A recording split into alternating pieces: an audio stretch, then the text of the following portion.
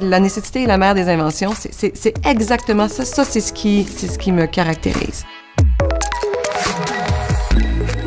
La biophotonique, c'est d'utiliser la lumière pour comprendre tout ce qui est biologique.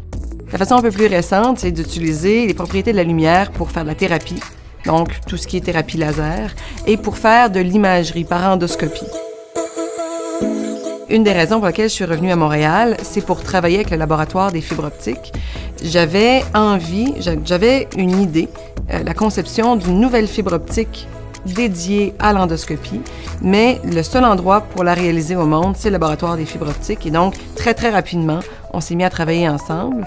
On a fait un prototype ensemble qui a mené à un brevet. Et très rapidement, on se rend compte que la qualité des images euh, s'améliore d'un facteur 100, ce qui est énorme en imagerie médicale.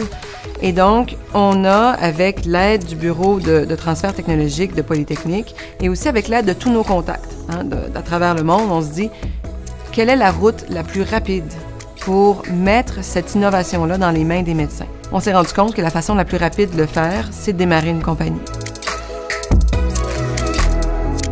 J'ai créé un cours de biophotonique à Polytechnique.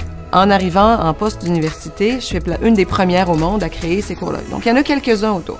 Et puis, on s'appelle, on se dit, il n'y a pas de livre. Mais je vais l'écrire, le livre. Ce n'est pas parce que je voulais écrire un livre au départ, c'est parce qu'il n'y en avait pas. J'ai pas ce désir de me démarquer, mais il y a des endroits où j'ai besoin d'un livre d'enseignement, j'ai besoin d'une nouvelle fibre optique, et donc je l'écris, tout simplement.